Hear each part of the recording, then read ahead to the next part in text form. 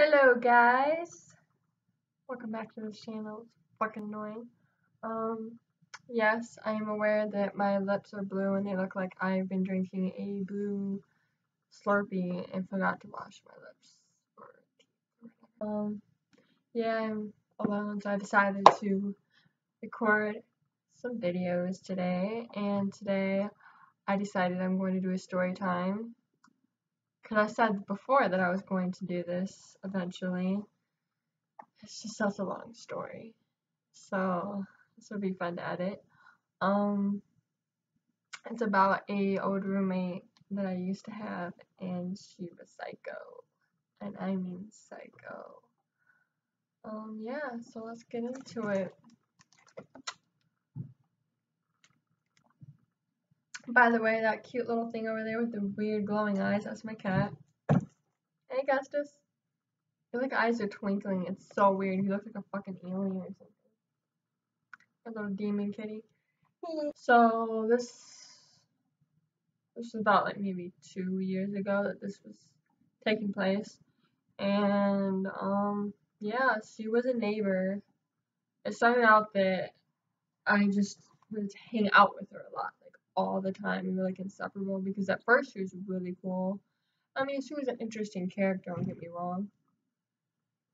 But, um, yeah, she was interesting at first. And we, like, right off the bat, we were just, like, very open with each other. Like, we tell secrets or, like, growing up our crazy, like, family life and stuff like that. So we felt like we understood each other like really well on that level. But um I don't know I don't know how much of it was true or not because I realized later on that she was kind of very, very dramatic with her stories and yeah.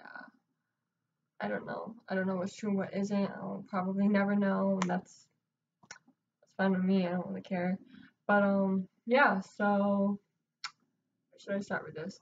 So she lived across the street from me and I would hang out with her uh, daily for hours.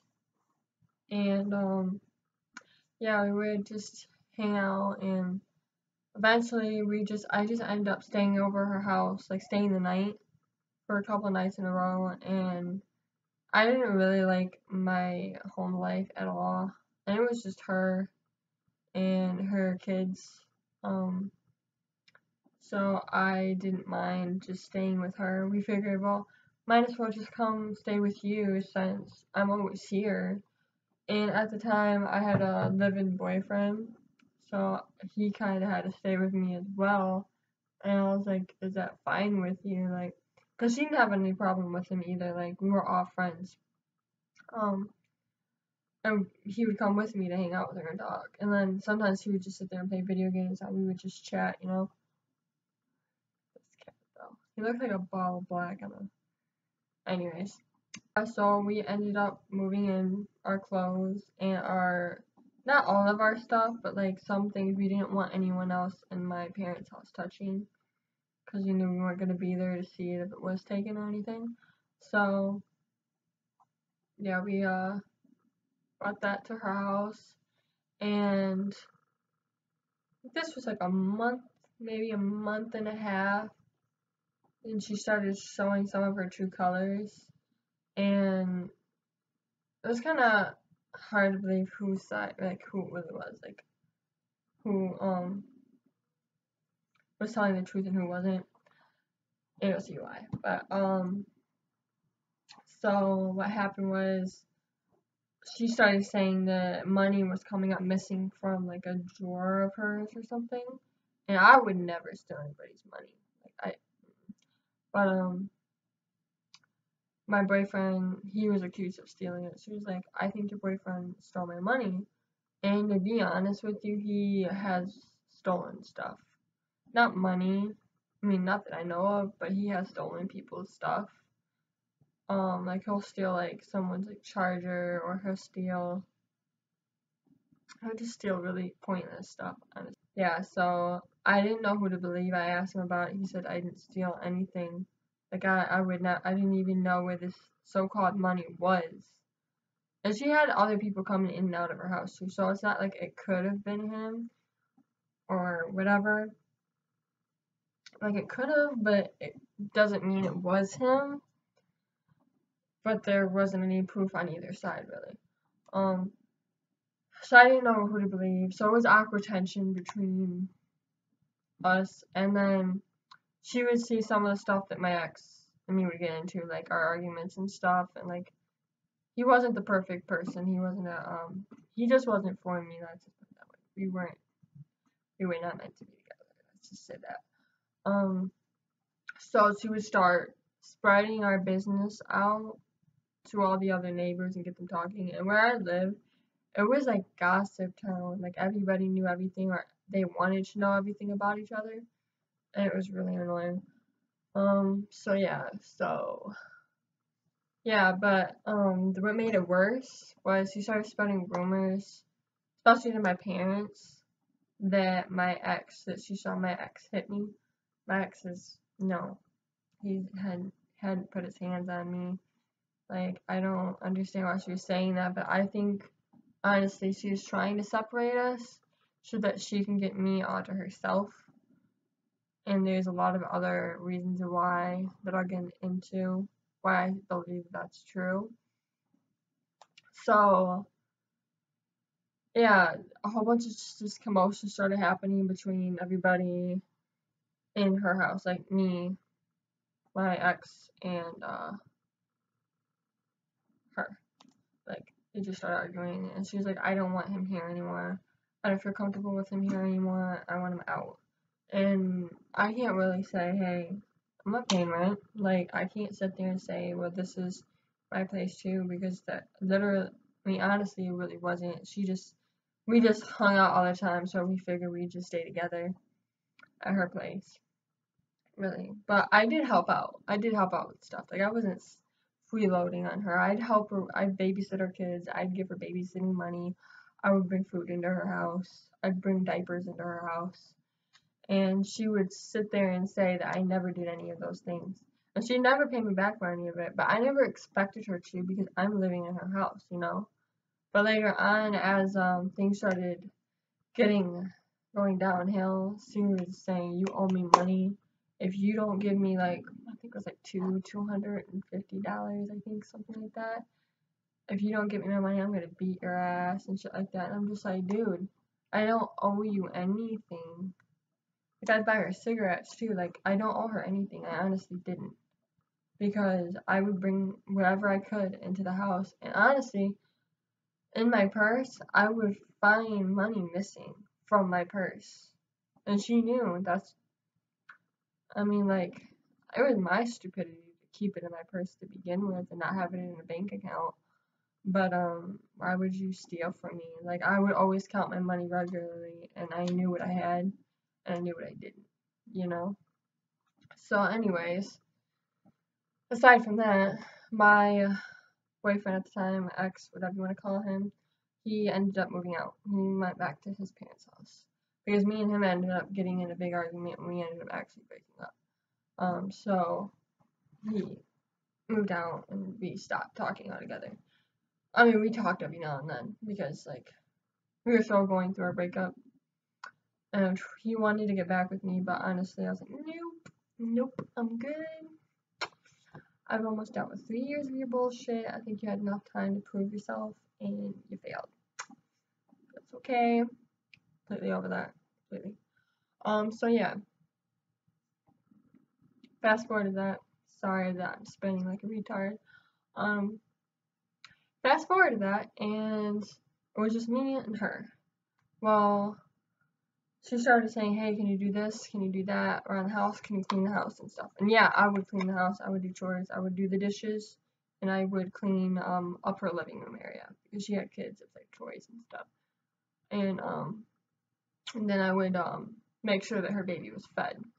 I mean, that wasn't my job because I'm not her their parent. But honestly, I kind of liked the experience because the kids I actually got attached to, they were, they were so adorable. They were sweet I mean, the baby baby, she was a. Uh, I mean, she was like a baby baby. She was an infant, but she was she couldn't even crawl yet.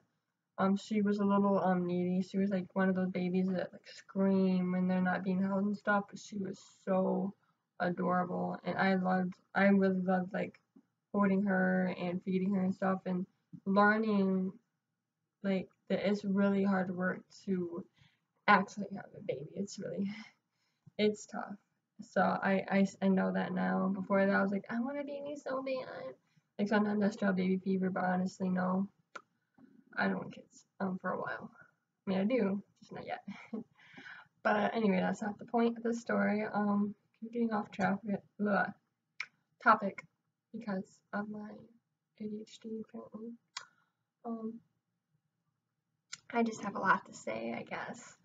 Um, so yeah, um, me and her, yeah, I do chores for her and stuff. But then I started realizing she had me do all of the chores and all of that. And she started going out a lot while I stayed at home with the kids. And um, I wasn't allowed to go out with my friends. Like, if I did, she'd freak out. She would ask where I was when I was coming home. If I wasn't home at a certain time, she would lock me out. And I had a key, but it was only to the bottom lock. It wasn't to the top. And when she got in her mood, she would lock me out on purpose to show that, yeah, I'm pissed at you. You're not, you're not coming in here.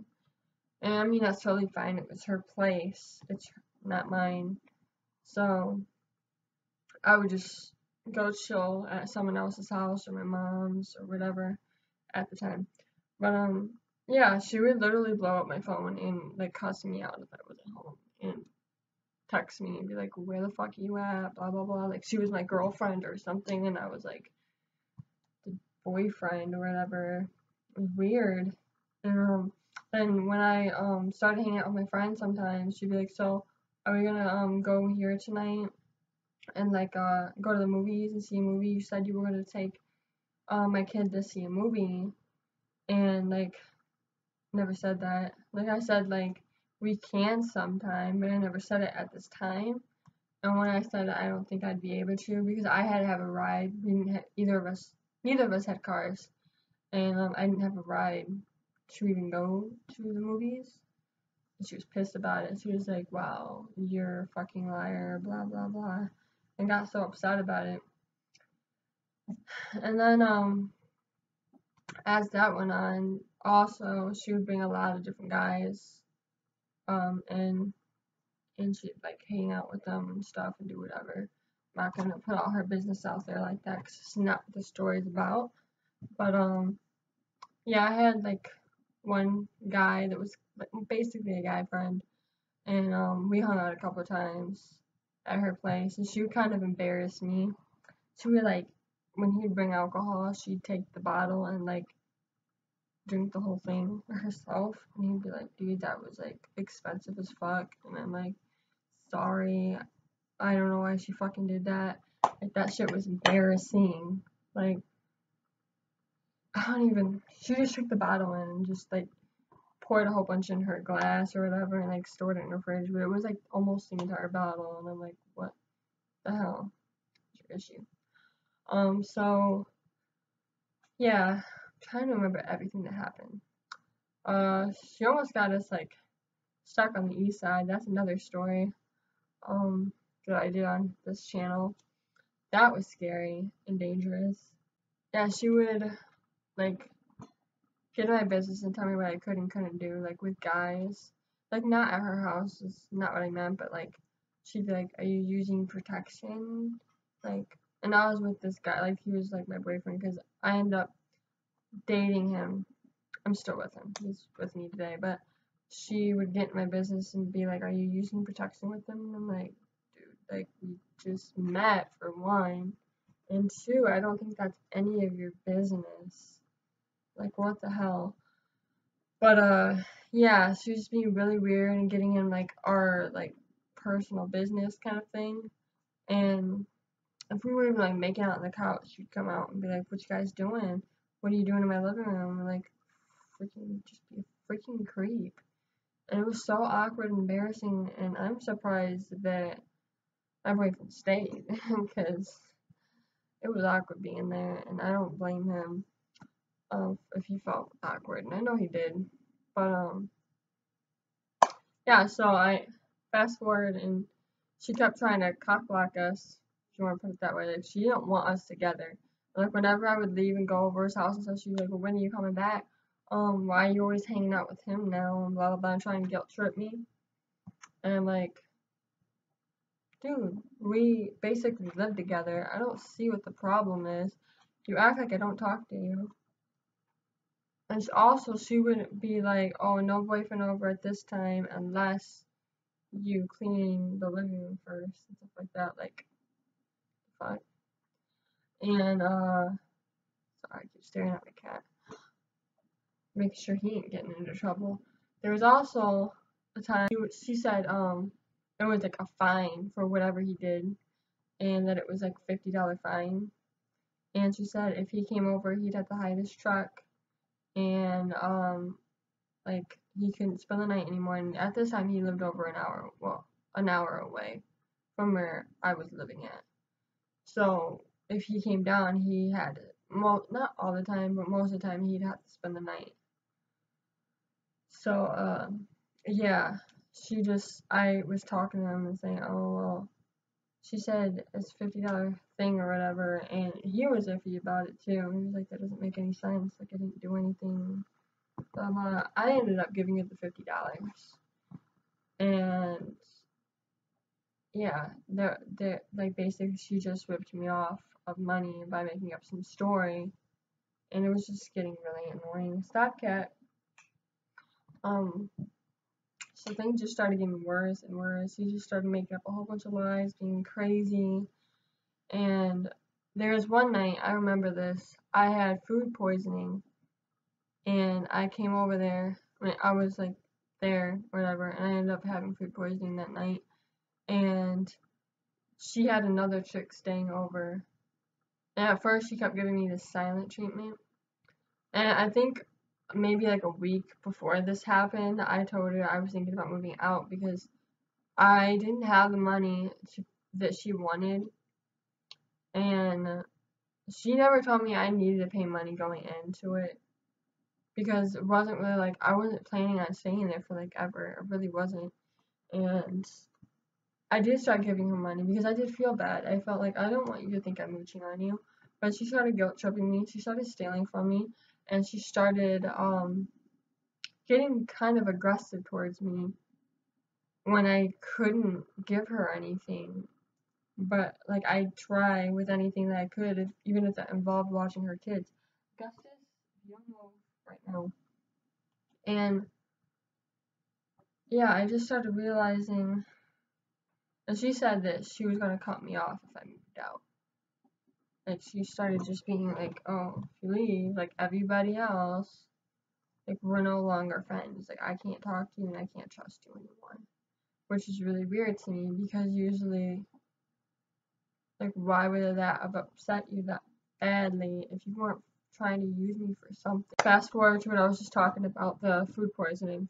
I was sitting on uh, the couch. I was not feeling well, like my stomach was burning, blah blah blah. You know how food poisoning goes and um, I was just starting to feel the symptoms. And I, this was the first time I had food poisoning too, so I didn't know what the hell was about to go down, but it was bad. Um, yeah, she was giving me the silent treatment, and then she ended up, uh, what she do? She uh started yelling in front of this girl that I've never met before. She starts yelling at her, and yelling at me. Sorry, she's yelling at me saying you know, when I'm de- dead, you need to be able to be a caregiver or take. She was like saying she was gonna die, and that um when she did, the kids were gonna go to me. Like you don't even really know me that well. Like yeah, we stay together and stuff, but why is that my responsibility? You know, like I don't even got a fucking car. How the hell am I supposed to get two kids back and forth where they need to go? Like no, that was not my responsibility, and it never will be. But um, yeah, so started yelling at me about that and just saying, oh, like you're supposed to be here for them, you're supposed to be here for us, being fake. Um, and then she started punching the door and the walls right next to me and saying, you owe me fucking money. If you don't owe me money, I'm gonna beat your ass. And this girl's just sitting there, probably thinking I'm like some bitch or something. Like, who the fuck are you gonna mess with my friend or something like? I and I'm just like, this came out of nowhere, dude. Like before, earlier during that day, we were fine. I think um, I don't even know, but it was freaking weird. And it was very awkward and embarrassing. I'm just like, why would you sit there and make me look like something that I'm not in front of somebody I've never even freaking met? That's just irritating as hell. Um, yeah, she just keeps on screaming and shit and just punching walls. And I'm just like, dude, I don't feel good. I really don't want to talk about this right now. If there's a problem, we can talk about it when I feel better and sort it out. But there is no reason to be punching walls and shit over something that I never even fucking did. And she just wouldn't stop to the point where like I just I just I just wanted to go to sleep. And she ended up was just like, fuck it, I'm going to bed, blah blah blah. She went in the room with that chick, they ended up sleeping in her bed and I'm sleeping on the couch in the dark. And just trying to relax and feel better. And in the middle of the night I end up having to get up to go to the bathroom to throw up. I realized right there that I had food poisoning and it wouldn't stop and I ended up it's TMI, but I ended up diarrhea everywhere. I mean, I was wearing clothes, thankfully, but I had to get in the bathtub, clean myself off, and she knew I was throwing up. Like, she was, like, saying, you okay, or something like that. She, I heard them, like, still being up, but, like, and talking kind of quietly, but they wouldn't even come help me. Like, they weren't saying, hey, you alright? Like, do you feel okay? Like, do you need anything? Like, no, they just sat in there like, bitch, I could have been fucking dying in there. And, um, yeah. So, I was just sick. I, I basically had to sleep next to the toilet that night. And after that, and realizing that they weren't even gonna help me when I was that sick, I was like, these this bitch is fake as fuck. She's not my friend. She's not. She's using me for whatever she can get out of me because I'm such a nice person. And honestly, I was scared that if I did leave, that she would be stalking my ass.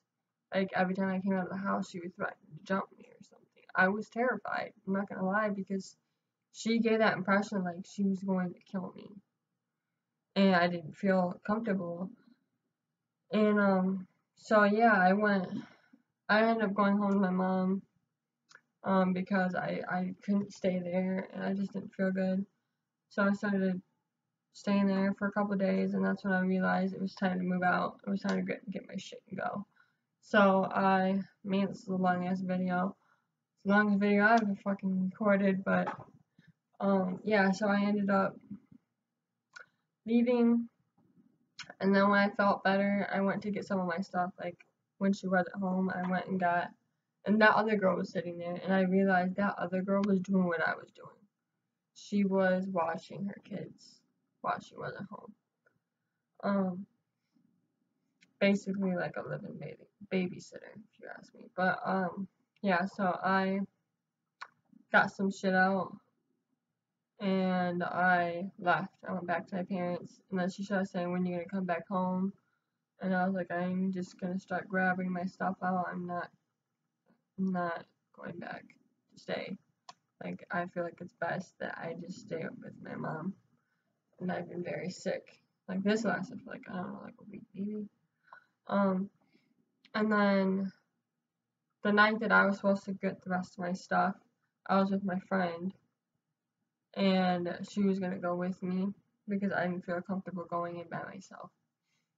We were running a little late, and she was texting me, blow my phone up. She's like, "If you don't get here at this time, I'm gonna throw all your shit out on the fucking curb and blah blah blah," and just being a bitch about it you know, always is. Um, and I'm like, dude, I'm coming right now. Like, can you give me a moment? And like, as soon as I did get there, she was like, your friend can wait out here. You can come get your shit, and I'm gonna watch you do it. Like I was gonna steal from her or something. Like I don't want anything of yours. I just want my stuff. And a lot of the stuff that was there, I left. I mean, not a lot of the stuff, but like I, I took all my clothes and all the things that I um, really needed and I knew that at the top of my head that was there.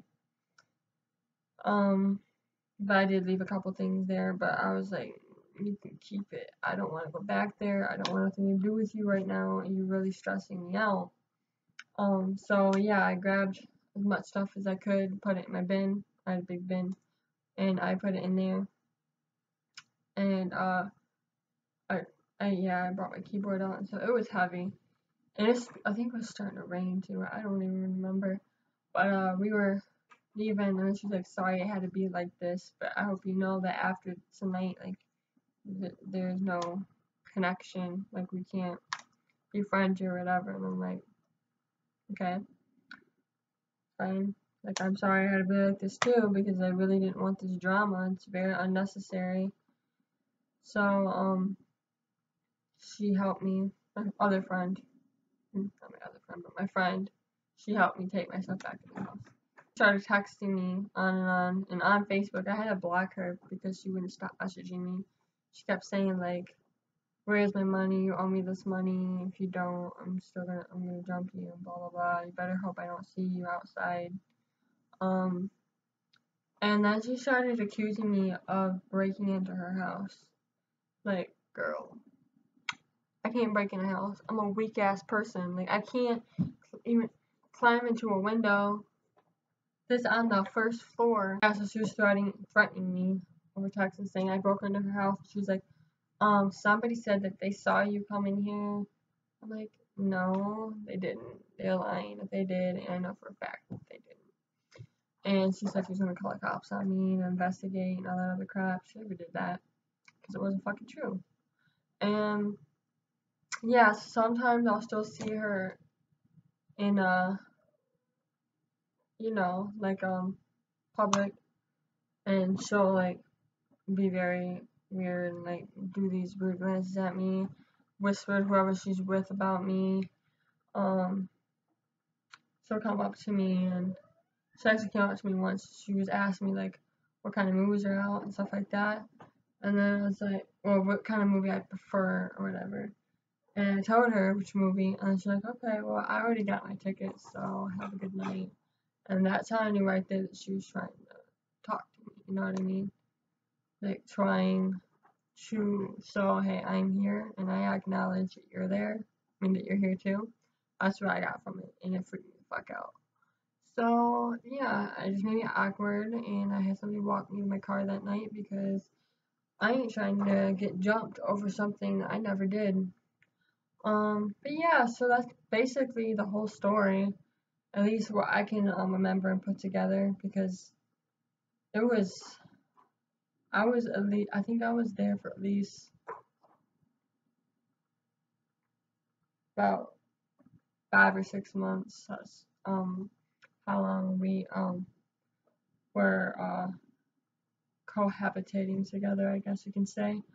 But yeah, it was pretty interesting, pretty crazy. It wasn't all bad. She she could be cool at times, but a lot of times you didn't know what she was gonna do next. It was scary.